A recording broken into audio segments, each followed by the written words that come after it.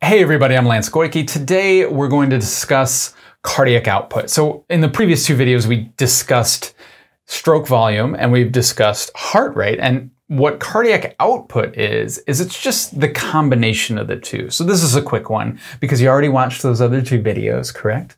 Um, what happens when we start to exercise is we first beat more strongly and we increase the amount of blood that each heartbeat sends to the rest of the body.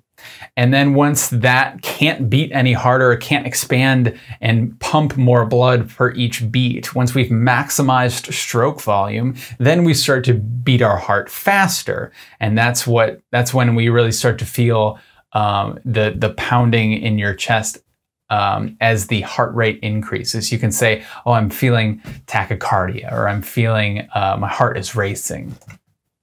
So the idea here is to get not only the the um, substrate supply to the rest of the body, not only get blood to the muscles, but or not only to get like the energy products to or substrates is the only word that I can think of. not only to get glucose or sugar to the muscle, but it's also to clear out all the other byproducts that are maybe um, you know, keeping our muscles from continuing to work. Uh, an example might be like hydrogen ion buildup or something like that. Uh, so with cardiac output, what we're trying to do is uh, maximize the overall efficiency of our energy delivery.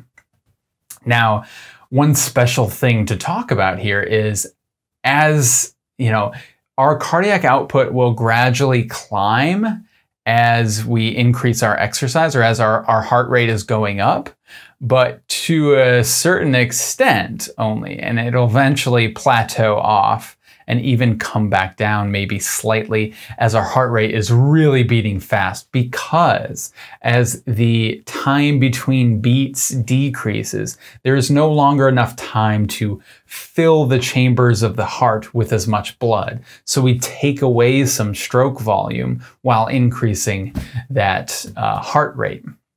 So at the at the very best, cardiac output starts to level off.